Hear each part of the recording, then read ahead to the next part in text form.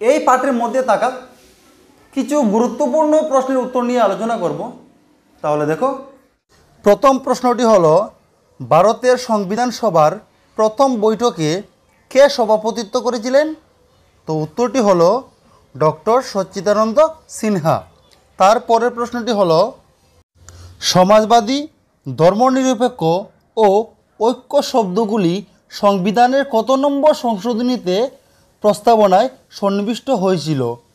তো উত্তরটি দেখো, উনিশশো ছিয়াত্তর সালের বিয়াল্লিশতম সংবিধান সংশোধনীর মতে এই তিনটি শব্দকে সংবিধানের প্রস্তাবনায় বা সংবিধানে সংযোজন করা হয়। তারপরের প্রশ্নটি হলো, এখানে যতগুলি প্রশ্ন রয়েছে, সেগুলির মধ্যে প্রায় পরীক্ষাতেই এসে থাকে। তো এই তিন চারটি প্রশ্ন খুব মন দিয়ে, খুব ভালো করে শোনো। বা ভালো করে শিখে রাখবে, পরীক্ষায় আসতেই পারে। প্রথম প্রশ্নটি হলো, দেখো এখানে, ভারত কখন স্বাধীনতা লাভ করে? তো আমরা সবাই জানি, ভারত কবে স্বাধীনতা লাভ করে? উনিশশো সাতচল্লিশ সালের পনেরোই আগস্ট। তারপরের প্রশ্নটি হলো, দেখো তারপরের প্রশ্নটি হলো, ভারতের সংবিধান কখন গৃহীত হয়? তো ভারতের সংবিধান কখন গৃহীত হয়? আমরা সকলেই জানি যে, সংবিধান রচনার জন্য একটি সংবিধানের কসরা কমিটি গঠন করা হয়েছিল। এই কসরা কমিটির দ্বারা উনিশশো ঊনপঞ্চাশ সালের ছাব্বিশে নভেম্বর সংবিধানের স্থায়ী সভাপতি ডক্টর রাজেন্দ্র প্রসাদের কাছে সংবিধানের খসড়া কমিটির দ্বারা উনিশশো সালে ছাব্বিশে নভেম্বর খসড়া সংবিধানটি ওনার কাছে জমা দেন এবং এই দিনেই কিন্তু সংবিধানের স্থায়ী সভাপতি যে ডক্টর রাজেন্দ্র প্রসাদ, উনি এই খসড়া সংবিধানের মধ্যে স্বাক্ষর করেন এবং এই দিনই ভারতের সংবিধান গৃহীত হয়েছিল। তারপরের প্রশ্নটি হলো, ভারতের সংবিধান কখন কার্যকরী হয়? তো, সংবিধানটি গৃহীত হয়েছিল উনিশশো উনপঞ্চাশ সালে ছাব্বিশে নভেম্বর, কিন্তু কিছু রাজনৈতিক এবং অনুষঙ্গিক কারণে উনিশশো সালের ছাব্বিশে নভেম্বর সংবিধানটি কার্যকরী হয়। তারপরের প্রশ্নটি হলো ইংরেজরা আমাদের দেশে কত বছর রাজত্ব করেছিল? তো ইংরেজরা আমাদের দেশে প্রায় দুশত বছর রাজত্ব করেছিল সতেরোশো সাতান্ন সাল থেকে উনিশশো সাতচল্লিশ সাল পর্যন্ত। তারপরের প্রশ্নটি হলো, ইংরেজি ফেডারেশন শব্দটি কোন ল্যাটিন শব্দ হইতে আসিয়াছে? তো ফেডারেশন শব্দটি ল্যাটিন শব্দ ফডাস হইতে আসিয়াছে। তারপরের প্রশ্নটি হলো তারপরের প্রশ্নটি হলো, যুক্তরাষ্ট্রের গৃহভূমি কাকে বলা হয়? তো উত্তরটি হলো, দেখো, আমেরিকা যুক্তরাষ্ট্রকে প্রিয় ছাত্রছাত্রীরা, ভালো করে মনে রাখবে যে আমেরিকাকে কিন্তু যুক্তরাষ্ট্রের গৃহভূমি বলা হয়। আমেরিকার মধ্যেই প্রথম যুক্তরাষ্ট্রীয় শাসন ব্যবস্থা প্রবর্তন হয় বা যুক্তরাষ্ট্রের যে, আমেরিকা যুক্তরাষ্ট্রের যে যুক্তরাষ্ট্রীয় শাসন ব্যবস্থা, সেটি হলো প্রকৃত যুক্তরাষ্ট্রীয় শাসন ব্যবস্থা। তারপরের প্রশ্নটি হলো, ভারতের সংবিধানের আত্মা বলা হয় কাকে? তো এই প্রশ্নটি খুব গুরুত্বপূর্ণ। ভারতের সংবিধানের আত্মা কাকে বলা হয়? ভালো করে মনে রাখবে, পরীক্ষাতে আসতে পারে যে ভারতের সংবিধানের আত্মা বলা হয়, ভারতের সংবিধানের মধ্যে যে প্রস্তাবনা আছে, এই প্রস্তাবনাকে সংবিধানের আত্মা বলা হয়। তারপরের প্রশ্নটি হলো, দেখো, ভারতবর্ষের সংসদীয় গণতন্ত্র ধারণাটি কোন দেশের সংবিধানের অনুকরণে করা হয়েছে? তো উত্তরটি হলো, দেখো, ইংল্যান্ডের সংবিধান হইতে। তো ভারতবর্ষের যে সংসদীয় গণতন্ত্র ধারণাটি, এই ধারণাটি ইংল্যান্ডের সংবিধান হইতে নেওয়া হয়েছে। তারপরের প্রশ্নটি হলো, দেখো, ভারতে গণতান্ত্রিক শাসন ব্যবস্থা কখন হইতে আরম্ভ হয়? এই প্রশ্নটিও গুরুত্বপূর্ণ। উত্তরটি দেখো, উনিশশো সাতচল্লিশ সালের পনেরোই আগস্ট ভারত স্বাধীনতা পায়। সেই সময় হইতেই ভারতে গণতান্ত্রিক শাসন ব্যবস্থা প্রবর্তন করা হয়। তারপরের প্রশ্নটি হলো ভারতের ভোটাধিকার পাওয়ার নিম্নতম বয়স কত? তো ভারতে ভোটাধিকার পাওয়ার জন্য নিম্নতম বয়স হলো আঠারো বছর। তারপরে প্রশ্নটি হলো, সংবিধানের বিয়াল্লিশতম সংশোধনী কখন হয়েছিল? তো উত্তরটি হলো উনিশশো ছেচল্লিশ সালে। তারপরে প্রশ্নটি হলো, পৃথিবীতে যুক্তরাষ্ট্রীয় পদ্ধতি প্রথমে কোথায় আরম্ভ হয়েছিল? তো উত্তরটি হলো, দেখো, আমেরিকা যুক্তরাষ্ট্রে।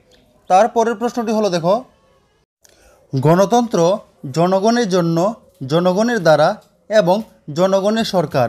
এই উক্তিটি কে করেছিলেন? তো এই উক্তিটি করেছিলেন আব্রাহাম লিঙ্কন। তারপরের প্রশ্নটি হলো, ব্রিটিশ সরকার ক্যাবিনেট মিশন কেন ভারতে পাঠিয়েছিল? তো ক্যাবিনেট মিশন ভারতে পাঠিয়েছিলেন কারণটি হলো, সংবিধান রচনার জন্য উপযুক্ত পরিবেশ ও প্রস্তুতি চালানোর জন্য ব্রিটিশ সরকার উনিশশো ছেচল্লিশ সালের মার্চ মাসে ক্যাবিনেট মিশনকে ভারতে পাঠিয়েছিল। তারপরের প্রশ্নটি হলো পরেরটি হলো, উনিশশো সালের পনেরোই আগস্ট হইতে উনিশশো পঞ্চাশ সালের ছাব্বিশে জানুয়ারি পর্যন্ত ভারতবর্ষের শাসন ব্যবস্থা কী আইনের ভিত্তিতে চলিয়েছিল ও এই আইনটিকে প্রস্তুত কে করেছিল? তো, উনিশশো পঁয়ত্রিশ সালের ভারত সরকার আইনের ভিত্তিতে এই সময় পর্যন্ত ভারতের শাসন ব্যবস্থা চলেছিল। এই আইনটিকে ব্রিটিশ সরকার প্রস্তুত করেছিল। তারপরের প্রশ্নটি হলো, সার্বভৌমত্ব মানে কি? তো সার্বভৌমত্ব মানে কি? প্রায় পরীক্ষাতেই এই প্রশ্নটি এসে থাকে। এই প্রশ্নটি খুবই গুরুত্বপূর্ণ। তো সার্বভৌমত্ব কি দেখো? সার্বভৌমত্ব হইল রাষ্ট্রের সর্বোচ্চ ক্ষমতা বা শক্তি। এই শক্তিকে বাহ্যিকভাবে বা আভ্যন্তরীণভাবে কোনো শক্তি ভারতবর্ষকে প্রত্যাহ্বান জানাতে পারবে না। অর্থাৎ বাহিরের শত্রু হোক বা দেশের ভিতরের শত্রু হোক, কোনো শত্রুই ভারতবর্ষকে প্রত্যাহ্বান জানাতে পারবে না বা আক্রমণ করতে পারবে না। তারপরের প্রশ্নটি হলো, দেখো, অর্ধ যুক্তরাষ্ট্র কাকে বলে? তো অর্ধ যুক্তরাষ্ট্র কাকে বলে? দেখো, যে রাষ্ট্রের সংবিধান ব্যবস্থায় এককেন্দ্রিক ও যুক্তরাষ্ট্রীয় বৈশিষ্ট্যগুলি লক্ষ্য করা যায় তাকে অর্ধ যুক্তরাষ্ট্র বলে। অর্থাৎ আমাদের যে ভারতের যে শাসন ব্যবস্থা, এই শাসন ব্যবস্থাটি অর্ধ যুক্তরাষ্ট্র ব্যবস্থা। তো ভারতের সংবিধানকে বা ভারতের শাসন ব্যবস্থাকে অর্ধ যুক্তরাষ্ট্র কেন বলা হয়েছে? ভারতের সংবিধান ব্যবস্থায় বা শাসন ব্যবস্থায় প্রকৃত যে যুক্তরাষ্ট্রীয় শাসন ব্যবস্থায় যে বৈশিষ্ট্য থাকা প্রয়োজন, এই বৈশিষ্ট্যগুলো নেই। গণতন্ত্র কি? তো গণতন্ত্র কি? এই প্রশ্নটি প্রায় পরীক্ষাতে এসে থাকে। এই প্রশ্নটি খুবই গুরুত্বপূর্ণ। মন দিয়ে শিখবে, পরীক্ষা আসতে পারে। উত্তরটি হলো, দেখো, গণতন্ত্রের অর্থ হলো জনগণের দ্বারা শাসন। গণতন্ত্রের গণ হলো জনসাধারণ এবং তন্ত্র হলো শাসন। গণতন্ত্র এর ইংরেজি প্রতিশব্দ ডেমোক্রেসি শব্দটি গ্রিক শব্দ ডেমস এবং ক্রাটিয়া থেকে নেওয়া হয়েছে। ডেমোস শব্দের অর্থ হলো জনসাধারণ এবং ক্রাটিয়া শব্দের অর্থ হলো শাসন বা ক্ষমতা। সুতরাং শব্দগত ও উৎপত্তিগত অর্থ বা অর্থে গণতন্ত্র হচ্ছে জনগণের পরিচালিত শাসন। গণতন্ত্র হচ্ছে এমন এক ধরনের শাসন ব্যবস্থা বা সরকার ব্যবস্থা যেখানে ক্ষমতা জনগণের হাতে ন্যস্ত থাকে। তারপরের প্রশ্নটি হলো, দেখো, গণতন্ত্র কত প্রকার ও কি কি? তো গণতন্ত্র প্রধানত দুই প্রকার, প্রত্যক্ষ গণতন্ত্র ও পরোক্ষ গণতন্ত্র।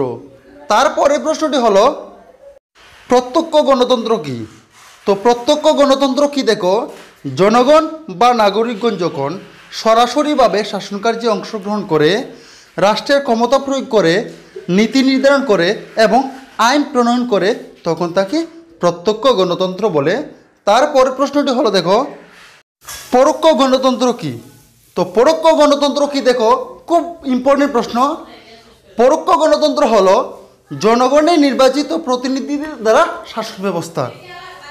তারপরের প্রশ্নটি হলো, দেখো, সরকারি আয়োগ কখন এবং কেন গঠন করা হয়?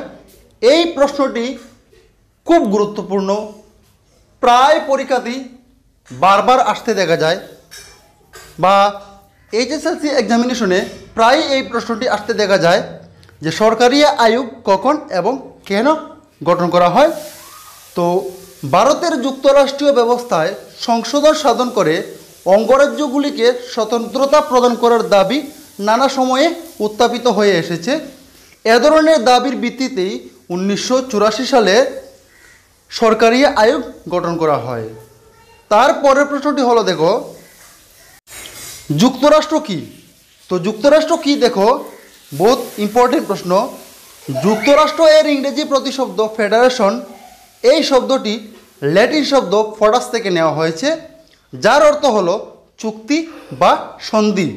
অর্থাৎ যুক্তরাষ্ট্র হলো পারস্পরিক সন্ধি বা চুক্তির মাধ্যমে কয়েকটি রাজ্যের সমষ্টি। তারপরের প্রশ্নটি হলো, দেখো, প্রকৃত যুক্তরাষ্ট্রের বৈশিষ্ট্যগুলি লিখো। তো প্রকৃত যুক্তরাষ্ট্রের বৈশিষ্ট্যগুলো হলো, তার অঙ্গরাজ্যগুলিকে অধিক স্বতন্ত্রতা দেওয়া। দুই নম্বর বৈশিষ্ট্যটি হলো, দ্বৈত নাগরিকত্বের ব্যবস্থা করা এবং প্রয়োজনে পৃথক সংবিধানের ব্যবস্থা করে দেওয়া। এই হলো প্রকৃত যুক্তরাষ্ট্রের বৈশিষ্ট্য। তারপরের প্রশ্নটি হলো, দেখো সংসদীয় গণতন্ত্র কি? তো সংসদীয় গণতন্ত্র কি দেখো? সংসদীয় গণতন্ত্র এক প্রকার শাসন ব্যবস্থা, যেখানে জনপ্রতিনিধির দ্বারা গঠিত একটি সংস্থার হাতে শাসনের সর্বোচ্চ ক্ষমতা অর্পণ করা হয় তাকে। জনপ্রতিনিধি সহ গঠিত এ ধরনের সংস্থাকে আমেরিকা যুক্তরাষ্ট্রের কংগ্রেস ভবন, ভারতবর্ষ, ইংল্যান্ড প্রভৃতি দেশে সংসদ অর্থাৎ পার্লিয়ামেন্ট বলা হয়। ভারতবর্ষের সংসদ দুটি সদন নিয়ে গঠিত, রাজ্যসভা ও লোকসভা নামক দুটি সদন সহ ভারতের রাষ্ট্রপতিও ভারতের সংসদের অবিচ্ছেদ্য অঙ্গ। এক কথায় বলা যায়, সংসদকে প্রাধান্য দিয়ে বা প্রাধান্য দিয়ে যে গণতান্ত্রিক ব্যবস্থা প্রচলিত হয়, সহজ অর্থে তাকে সংসদীয় গণতন্ত্র বলে। তারপরে প্রশ্নটি হলো, দেখো, ভারতবর্ষের সংসদীয় গণতন্ত্র এবং ইংল্যান্ডের সংসদীয় গণতন্ত্রের মধ্যে প্রধান পার্থক্যগুলি লেখো। তো প্রধান পার্থক্যগুলি হলো দেখো, ভারতের সংসদীয় গণতন্ত্র গণরাজ্য, কিন্তু ইংল্যান্ডের সংসদীয় গণতন্ত্র গণরাজ্য নয়। তারপরে পার্থক্যটি হলো, ভারতের সংসদের উচ্চ সদন অর্থাৎ রাজ্যসভার গঠন এবং ক্ষমতা ইংল্যান্ডের উচ্চ সদন হাউস অফ লর্ডস হইতে অনেক পৃথক। তারপরের পার্থক্যটি হলো দেখো ইংল্যান্ডের সংসদীয় গণতন্ত্রে সংসদটি অতি শক্তিশালী, কিন্তু ভারতবর্ষের সংসদ ততটা শক্তিশালী নয়? তারপরের প্রশ্নটি হলো, দেখো, আমেরিকার যুক্তরাষ্ট্রীয় শাসন ব্যবস্থা এবং ভারতবর্ষের যুক্তরাষ্ট্রীয় শাসন ব্যবস্থার মধ্যে থাকা কয়েকটি পার্থক্য লিখো। তো উত্তরটি হলো, দেখো, আমেরিকা যুক্তরাষ্ট্রের নাগরিকদের জন্য দ্বৈত নাগরিকত্বের ব্যবস্থা রয়েছে, কিন্তু ভারতবর্ষে নাগরিকদের জন্য দ্বৈত নাগরিকত্বের ব্যবস্থা নেই।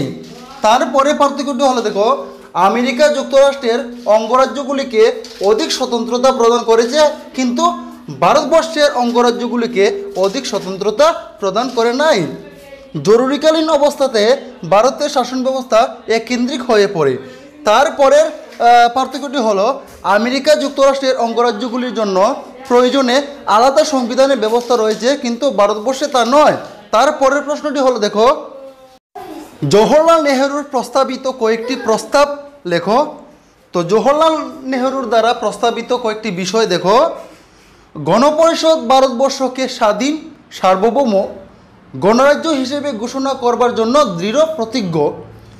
তারপরের বিষয়টি হলো, ব্রিটিশ শাসিত ভারতবর্ষের ভূখণ্ড এবং ভারতের অন্তর্ভুক্ত হতে আগ্রহী দেশীয় রাজ্যগুলি নিয়ে রাজ্যসমূহের সংঘ গঠিত হবে।